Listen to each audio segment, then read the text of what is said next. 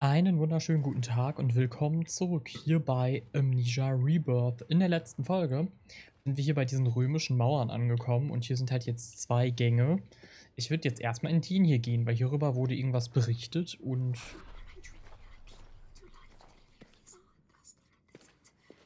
Äh, ja, wir kommen hier anscheinend sowieso nicht durch. Ich probiere mal das Ding.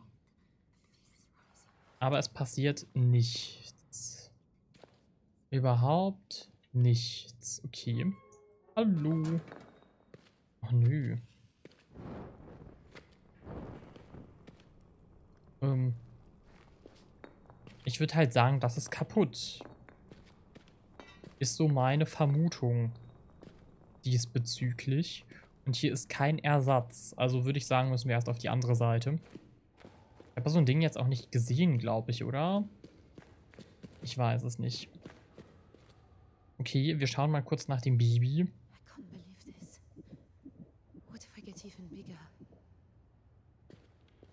Ja, dann ist ungünstig. Wir haben jetzt immerhin schon mal die Laterne. Die sollten wir auch zwischendurch öfter mal benutzen. Hier ist, glaube ich, ein ganz guter Moment dafür. Was? Ich mach sie jetzt mal wieder aus.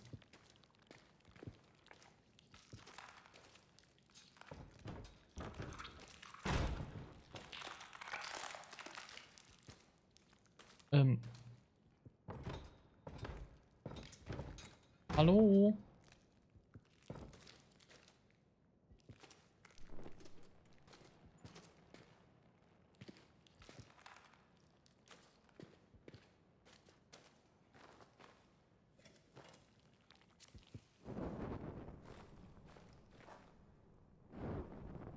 Ähm.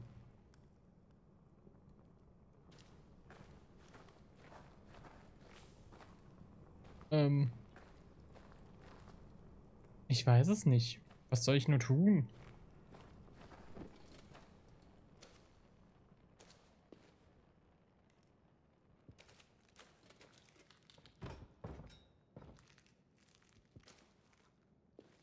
Hm. Jetzt bin ich ein bisschen verwirrt. Also da ist auf jeden Fall irgendein Viech, irgendwas. Habe ich irgendwas übersehen? Mach mal kurz die Laterne aus und kratze mich mal kurz am Auge. Och Gott, wie das schon klingt. Eigentlich richtig ekelhaft. Geh auf. Hm.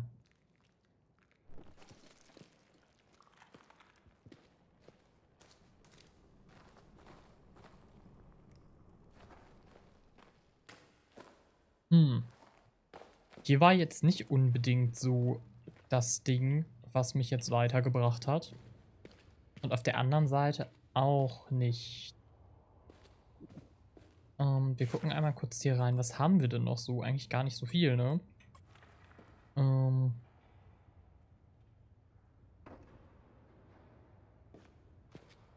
Es wird schwierig. Wirklich schwierig.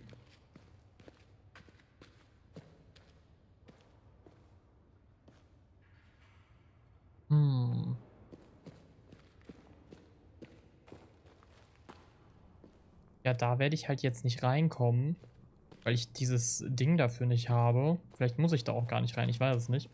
Ich würde vielleicht dann erstmal wieder zurückgehen und mich vielleicht weiter außenrum umschauen oder so.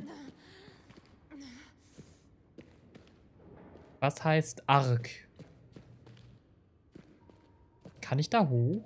Ja.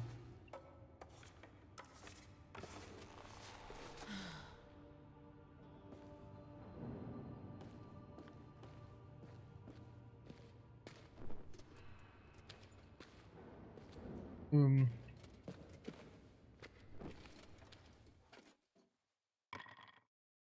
Auf einmal setzt die Musik aus. Mega creepy. Wie viele habe ich gerade? 8 von 10. Okay. Wir äh, gönnen uns gerade mal kurz. Ein bisschen Licht.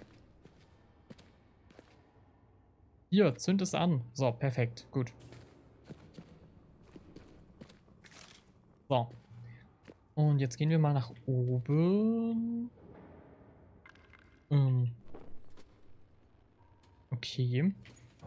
Und wir gehen hier einfach mal rein. Ich habe keine Ahnung, was uns hier jetzt erwartet. Oh, my heart.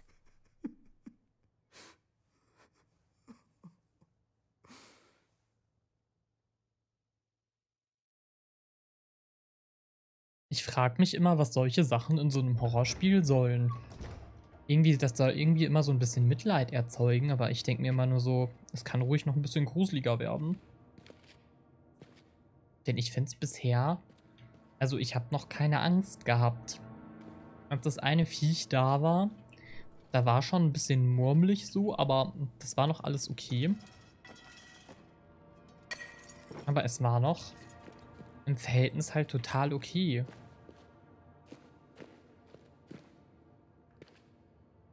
In was für einem Ding bin ich hier jetzt gelandet? Ich glaube, Ding beschreibt es nämlich sehr gut. Ähm.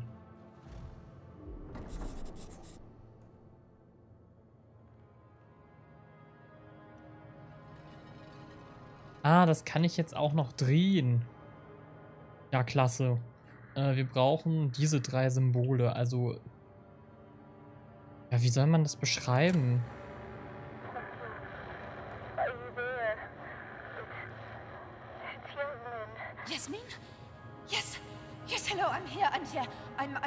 I'm in a tomb. You need to take care. I told you. Doctor? Ah, damn. Well, I suppose at least they can't be far. They might as well be on the moon. Unless we can get out of here. Okay, ich versuch mal.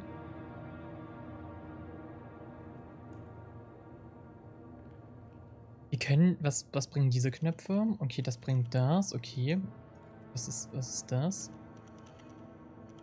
Okay, okay. Und das ist der Knopf zum Aktivieren. Das war wohl der falsche. Ähm, aber ich kann die nicht irgendwie, was kann ich denn? Okay, ich kann es nur so drehen.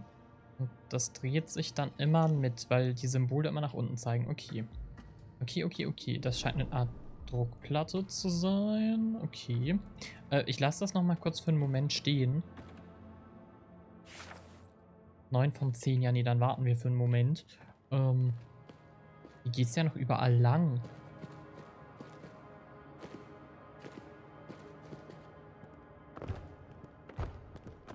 Okay, dadurch komme ich schon mal nicht. Ähm, was tust du?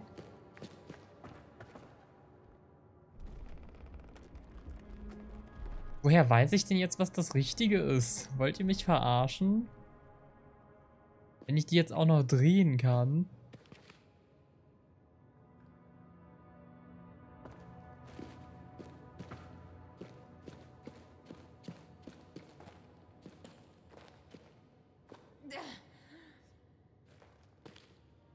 Überlebt sie das wohl? Ich hoffe schon.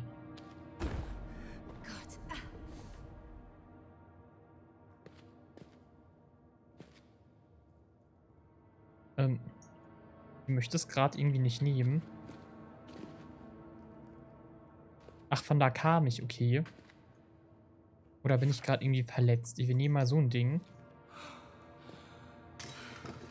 Ups. Waren da nicht Streichhölzer drin? Ich dachte, da wären Streichhölzer drin gewesen. Ähm.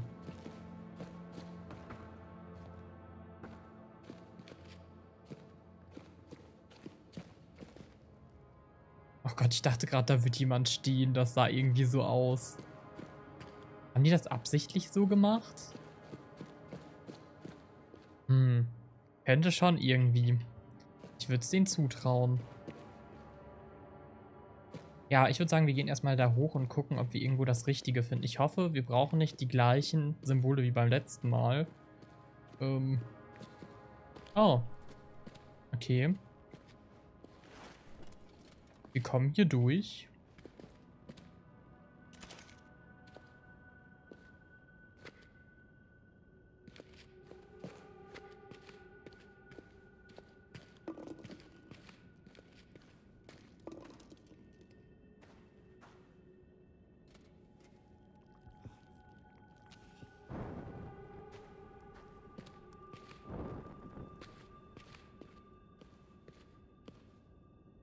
Hm, okay.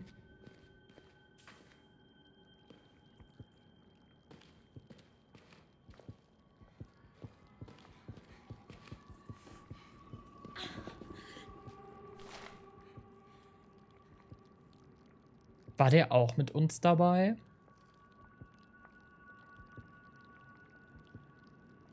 Ich lese das jetzt mal nicht vor. Aber das ist schon crazy. Yeah,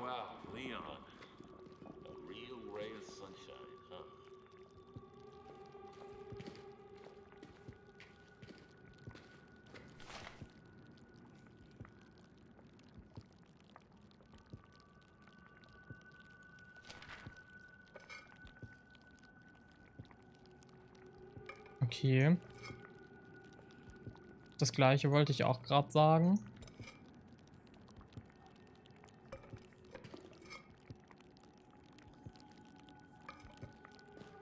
Hm, okay. Hallo.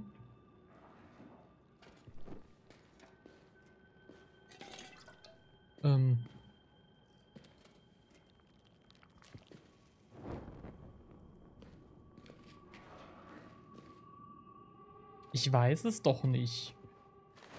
Ich glaube, da komme ich auch gar nicht rein. Da eher auch nicht. Ähm.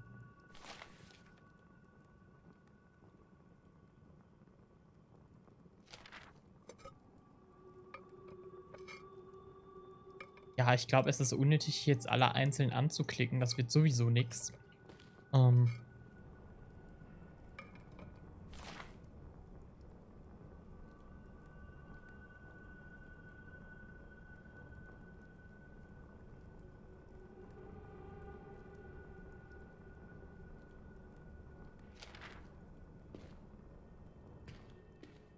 Das war jetzt irgendwie keine neue Information für mich, dass die übere übereinstimmen müssen, wenn ich ehrlich bin.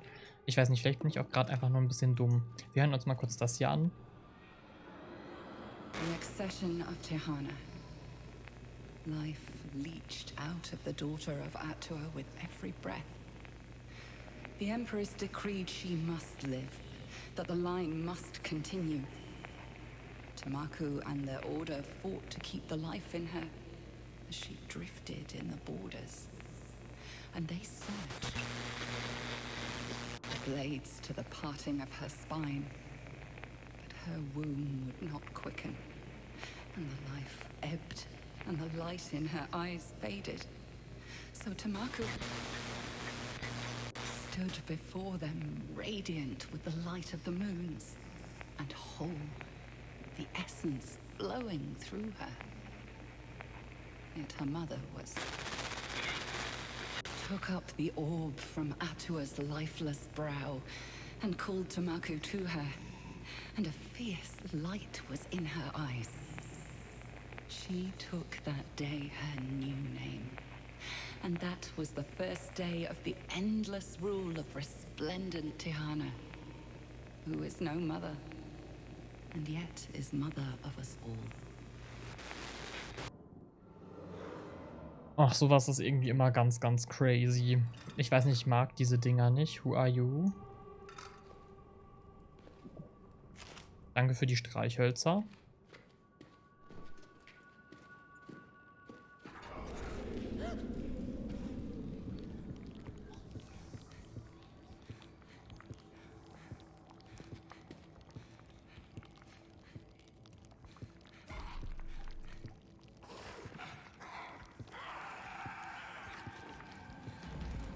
Oh oh.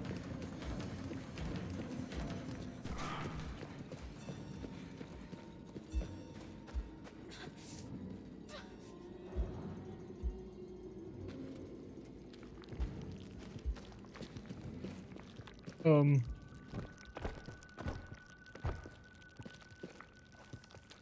Okay, tschüss. Das hat mich jetzt irgendwie nicht so weitergebracht, wie ich dachte, wenn ich ehrlich bin. Ähm, wir gucken gleich nochmal auf das Bild, was ich vorhin gemacht habe. Zum Glück habe ich es gemacht. Ähm, vielleicht bringt mich das irgendwie weiter, was diese Dinge angeht. Also die müssen wohl irgendwie in derselben Konstellation sein und mit dem, dem war ich mir auch bewusst, aber... Puh, gibt es davon irgendein Bild? Hier sind tatsächlich diese Säulen.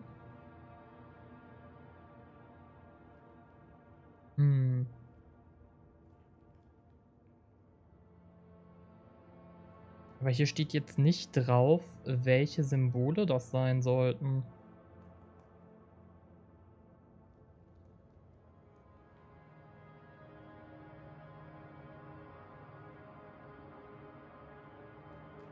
Ät ätherischer Resonanzkörper heißt das Ding wohl.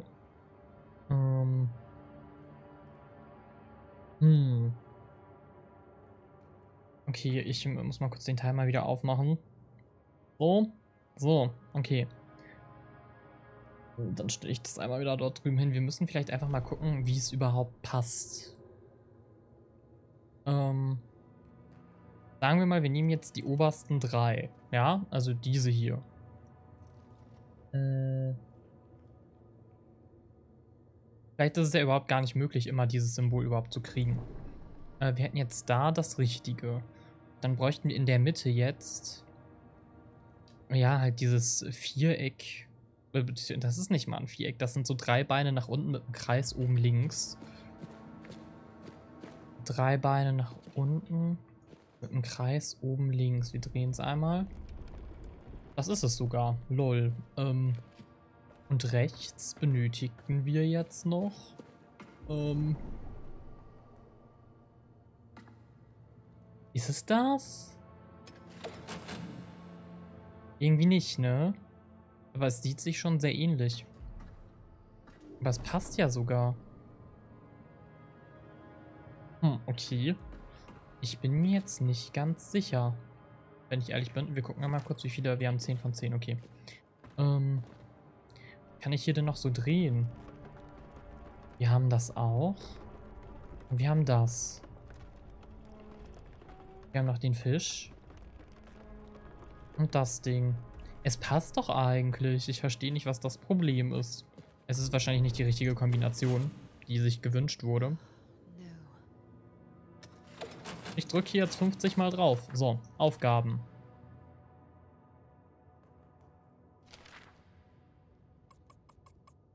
Die Portalkammer.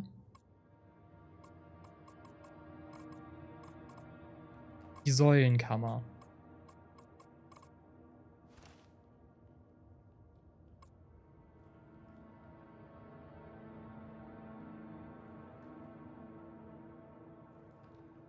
Okay. Das hilft mir jetzt nicht so weiter. Wir haben drei Notizen. Zylinder, Thronfolge. Die Thronbesteigung von Tiana. Das Leben. Bla bla bla bla bla bla bla. Boah, ich weiß es nicht.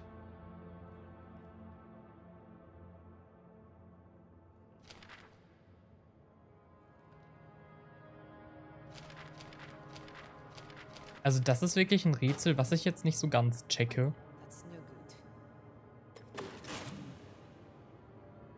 Hm.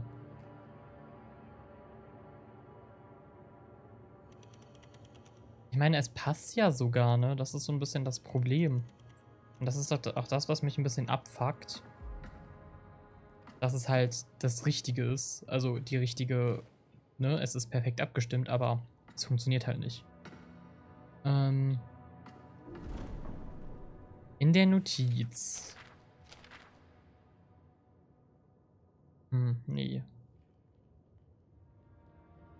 Oder? Wir können es ja mal gucken, so wie es auf, diesen, auf dieser Zeichnung drauf ist. Also hier müsste dann der Fisch sein. Keine Ahnung, ob das funktionieren wird. Wir probieren es jetzt einfach in der Folge aus und ansonsten äh, gucke ich dann einfach zur nächsten Folge offscreen weiter. Ähm, wo war es denn? Hier? Nein, hier, hier, okay. Dann war da, äh, das passt. Und hier, ja, ich weiß selbst nicht, was da in der Mitte ist, wenn ich ehrlich bin. Irgendein anderes Symbol.